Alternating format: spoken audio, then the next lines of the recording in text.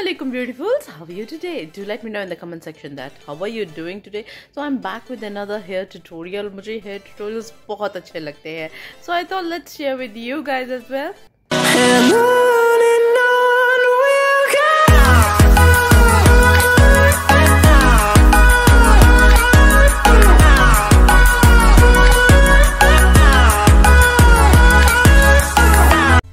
Now, this hairstyle goes really well, particularly with curl hairs. So, if you're thinking about curling your hair, I would suggest try this kind of front updo with your curls. So, पीछे से curls बहुत खूबसूरत लगेंगे और ये hairs जो है ना ये स्पेसिफिकली फ्रंट सेक्शन के लिए जो है ना वो बहुत अच्छे रहते हैं।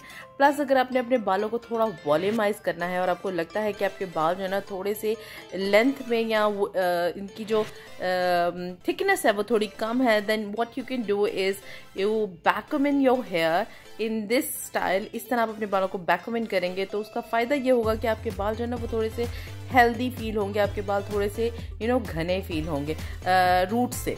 तो ये थोड़े से एक्सटेंशन है जो भी आप ऐड कर सकते हैं अपने बालों में कर्ल्स के लिए।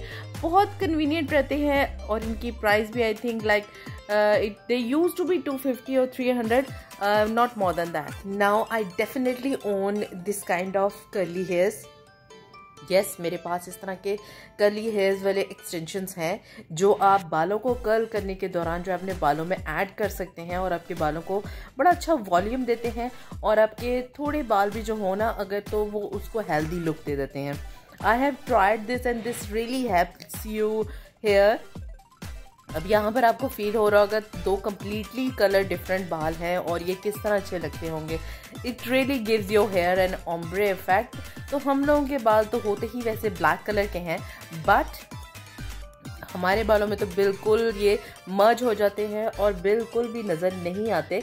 प्लस आपने पीछे से बालों को हल्का हल्का कर्ल जब कर लिया है तो वो जो एक्सटेंशन वाले हेयर्स होते हैं, उनमें ऑलरेडी थोड़ा कर्ल वॉल्यूम होता है और आपको उतना कर्ल और वॉल्यूम नहीं चाहिए होता।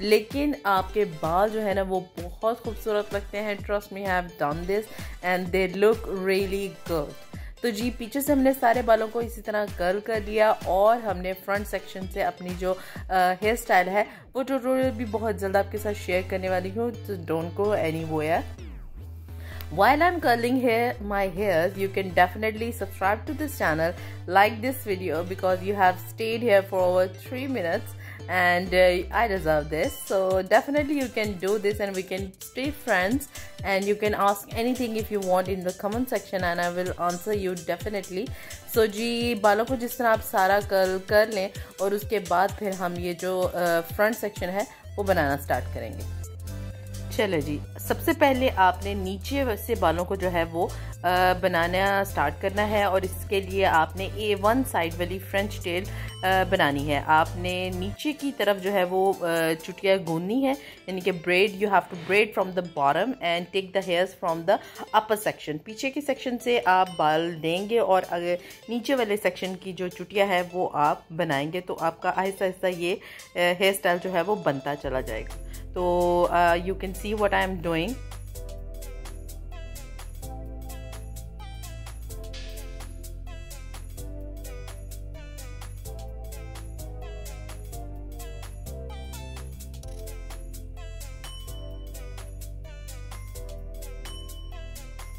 जब भी आप फ्रेंच टेल बनाएँ या इस तरह वन साइड फ्रेंच टेल बनाएँ तो आपने पहला जो स्टेप है उसकी चुटिया पहले से गूंद लेनी है और फिर दूसरे स्टेप में आपने बाल जो है ना वो ऐड करने हैं। अब यहाँ पर आपने ये ध्यान में रखना है कि आपकी ये जो आ, स्टाइल होगा या जो ये हेयर होंगे वो आपने थोड़े से लूज़ रखने हैं और फिर आपने उनको पीछे की तरफ़ ड्रैग करते लेके जाना है और आपने साथ साथ उनको पिन अप करते जाना है। नीचे के बाद हमने पहले कर्ल कर लेने हैं और ऊपर के हेयर स्टाइल्स को हमने बाद में स्टाइल करना है। जब भी आप बाल को कर्ल करते हैं अंटिल अंडर से आपने थोड़ी सी बैकोमिन करनी है। जिस तरह हमने पहले थोड़ी सी बैकोमिन कर ली है तो आप पहले बैकोमिन करेंगे, उसके बाद बालों को कर्ल करेंगे और एंड में आप, जो फ्रंट सेक्शन है, उसको आप स्टाइल करेंगे। और फिर अगर आपको लगे कि पीछे किसी बाल को आपने दोबारा कर्ल करना है तो फिर आप उसको दोबारा से ठीक कर सकते हैं।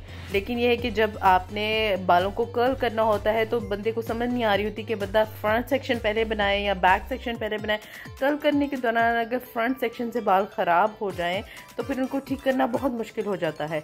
इसलिए आपने ट्राई करना है कि आपने पहले बाल कर्ल कर देने हैं, उसके बाद अपने फ्रंट सेक्शन को जो है, वो आपने स्टाइल करना है। और अगर उसके बाद आपको लगे कि बीच में कहीं कर्ल ख़राब हो गया है या बाल जो है दोबारा कर्ल करने की ज़रूरत है। We can definitely retouch that curl later तो पहले तो हम फ्रंट सेक्शन ही बनाएँगे। चले मैं आपको एक दफ़ा दोबारा बना के दिखा देती हूँ कि आपने किस तरह जो है वो अपने फ्रंट सेक्शन को स्टाइल uh, करना है। आपने एक छोटा सा स्ट्रेन लेना है और उसकी तीन बलों वाली आपने चुटिया जो है वो गूंद लेनी है। एक्सक्यूज़ मी उसके बाद आपने इसको थोड़ा सा ढीला बनाना है, बहुत टाइट नहीं बनाना। आपने ढीले से बनाकर आपने जितने बाल हैं उनको पीछे की तरफ़ लेते जाना है और एक साइड से ही आपने बालों को गूंदना है। अब आप जिसको जितना ढीला रखेंगे, आपके बालों में उतना ज़्यादा हेयर स्टाइल बनेगा। क्योंकि हमने जो ऊपर वाला स्टेप है, उसको नीचे वाले स्टेप के ऊपर ओवरलैप करना है। और इसको इसी तरह झुलाते हुए पीछे की तरफ़ you know as you can see हम थोड़ा सा इसको ढीला रखते हुए पीछे की तरफ़ लेके जाएँगे। तभी हमारा वो स्टेप जो है वो नीचे से नज़र आएगा। So I hope you like my video if you like then don't forget to give it a thumbs up and subscribe to my channel I will see in my next video and until then take very good care of yourself and the loved ones around you. And before you leave you can check out all the other hairstyle videos that uh, I will share later in the video.